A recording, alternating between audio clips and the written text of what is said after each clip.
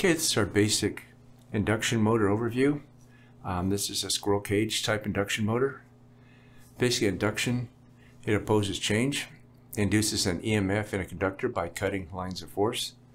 Uh, it's your magnetic field. So basically, this creates a magnetic field. It cuts through these conductors and induces a current flow. Uh, the basic parts, this is just a single phase motor. We're not storing the start circuits. A three-phase motor has a naturally occurring rotating field. So you have your windings carry electrical current. You have an iron core. Uh, this is a laminated, usually silicon iron. You want something that has a high permeability for your magnetic flux, yet has resistance to your electrical current. These laminations are insulated.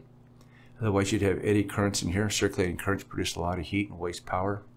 So you don't want this to conduct electricity you want to conduct a magnetic field across very efficiently.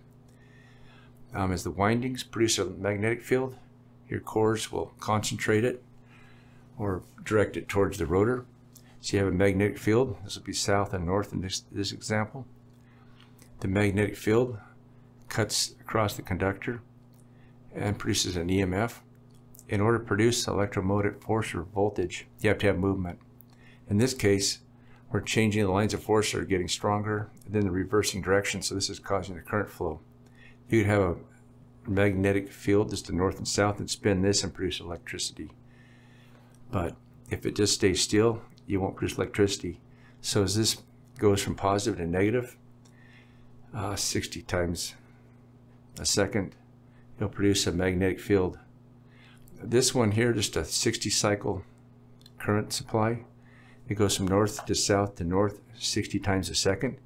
So that means this will rotate 60 times a second. This field will rotate around or 3,600 times a minute. This is just based on the 60 cycle. As this current is produced in here, I produce a magnetic field. Your core concentrates it. Uh, these lines of force cut across these conductors and produces an EMF, electromotive force, which causes a current to flow. It's just kind of a shorted rotor. So you get high current flow across here. This current flow will create a magnetic field just like this one did, except this is an opposite direction. You have your north pole here and a south pole here. They try to stay together. So the magnetic field is really pretty intense on some of these motors, just trying to pull it around and push it. So this magnetic field from here comes back across these windings and it'll produce its own uh, current flow, except it's in opposite direction. So this will oppose the current coming in so when you first start a motor, uh, it's based on the winding resistance and a little bit of inductance. So you have very high starting currents. As this comes up to speed, you start developing counter EMF and it starts opposing the inrush current flow. At full load speed, this will never run 3600 because it has to run a little bit slower to allow current to come in. You have to have your magnetizing current uh, produced. So as you load up a motor, the rotor will slow down EMF will drop and more current will flow through, produce a stronger magnetic field, and they'll give you more torque in the motor. In case they're part of the magnetic field, uh, mag magnets go from north to south. They form lines of force. Um, these like to go through a permeable material like iron. They'll also go through air. Um, lines of force flux Reversal of the magnetic field causes heating, hysteresis.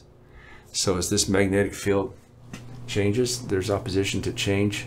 Uh, creates friction in the iron basically and creates heat. Each material has a lines of force saturation limit. This is really important on transformers, generators. You'll have a trip at high voltage and low frequency. This will oversaturate the core. Uh, once your core is oversaturated, the lines of force have to go outside this. They can no longer go through here. It's saturated. So they'll start going through the iron frames, uh, create a lot of heating and problems. So that's why most of electrical grid is set to trip at a certain frequency, about 58.2 or so. Uh, lines of force make a loop, kind of primitive drawing of our rotor. We have our stator. Uh, magnetic field is produced this way, goes through the rotor back around. And then this creates the reverse magnetic field that comes through here, back through the rotor. So they oppose each other in the winding. Um, counter EMF, electromotive force, Current creating the opposite direction from the power line current limits input current. Um, current produced from the ro rotating magnetic field moving across the stator windings. Kind of a simple drawing here. You got the current produced from the rotor pushing this way, and the power, it's limited amount of power comes in. Actually takes place in here. Just kind of a simple way of thinking of it. Rotor slip. Uh, this is the key to these motors. It's the difference between the synchronous speed and the motor shaft speed. Uh, the field here wants to run 3600. Induction motor cannot run at 3600. You have to run a little bit less to provide the magnetizing current in here. Now a synchronous motor, it will run 3600, but that's a little different design. Okay, your rotor slip, it is required to produce a current flow in the rotor. A loaded motor slows down, more lines of force from the magnetic field are cut. This produces larger rotor current, which increases magnetic field, hence you have more torque output. This slows down your rotor. Uh, there's more lines of less lines of less EMF are being produced. These this thing will keep producing a field across. These bars are all tied together.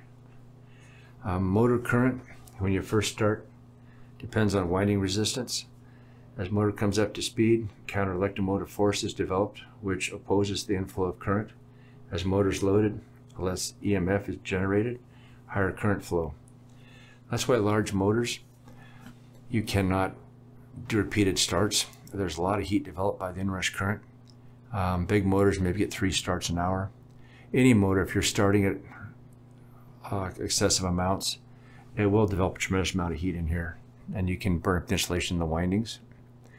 Uh, there's one thing with this, you got your right hand rule. If you lay your hand on a winding, current's flowing this way around it, this will be your north pole. There's a lot of different hand rules with generators and motors and stuff. So it doesn't matter how it's wound, it's, it's the direction of current that really depends on this because you can come across this way and then wind, wind it back. The current flow determines the magnetic fields. Here's just some basic uh, magnetism electrical properties. Here's a real handy formula. The motor speed, you take 7200 divided by the poles. This is a two pole motor. Um, divided by 72 will give you 3600 RPM. The number of poles, you take 7200 divided by the speed. This is running 3600 divided by 7200 give you two poles. Uh, if you're over in Europe, another place have a 50 hertz system, it's going to behave different. Also, your trans your windings and your cores are going to be built different to handle the 50 cycle instead of the 60. I believe they'll be a little bit heavier duty to carry the flux. 60 hertz, you can carry more flux for the density. 50 hertz, you have to have more area for the magnetic flux. You can equate electricity to water. It's kind of a handy way to thinking of things, kind of primitive, but it uh, gives you kind of a good idea. Voltage, it's equal to the pressure. Uh, electrical units measures in volts. So if you have a hose that has 10 psi, that'd be like low voltage. It does low work.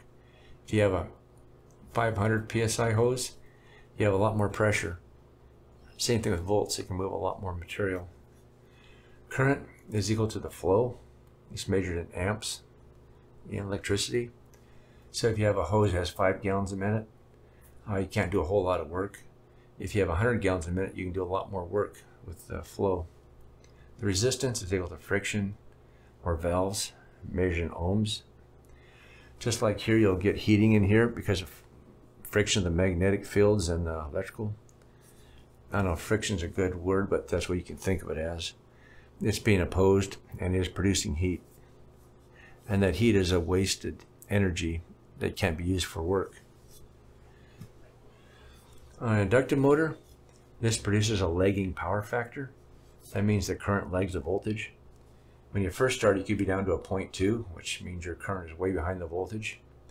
When it's loaded, it can go to a 0.85 to 0.90 full load. Uh, this is the magnetizing current. This is just kind of the cost of running a distribution grid. All your transformers have a magnetizing current. This power factor has to be made up. So in the generating station, you either have to buck or boost to try and get this power factor back to unity. which means you're trying to drive this back to a 0.99 or a 1. So this is power that's being produced that really isn't being used for work. It's just um, it's just the cost of doing business running a system. Somebody has to pay for that power that's being used. So a lot of times industrial users they'll try and get their power factor more to unity, so they don't have to pay the extra money to compensate for the power factor. A magnetic field it produces a current flow in a wire with movement, either physical movement, move the wire, or changing magnetic fields. Uh, this here, the current flowing through a wire will produce a circular magnetic field around it. Now, if you want to produce electricity, you could put a magnet on a wire, nothing will happen. You move the magnet, you get an electrical potential across there, which is measured in volts, and then current will flow. Or you can also have a changing magnetic field. You can have your flux build up, current will flow, then when it starts dropping down, it goes the other way. So it's kind of a, a really strange concept how you can convert electricity to magnetic fields and magnetic fields electricity. I'm not so sure it's totally understood, but we have some different rules and formulas for working with it and making it work. With motors, you have inrush current, that's the starting current. FLA, full load amps. This is the maximum run current from the motor. This is the current at the rated horsepower the motor will pull. You don't want to exceed this as you start producing too much heating in your here. You'll start burning up insulation, um, causing problems with the motor. Break down insulation if it gets too hot. You'll limit the runtime on it. Some magnetic terms. Reluctance its resistance to the magnetic flux and permeability. This conducts magnetic flux. So anytime you have an air gap, you have reluctance. Um, your cores have permeability. This is kind of for the magnetic cir circuit, how much of an air gap you have. The tighter this is, the less reluctance.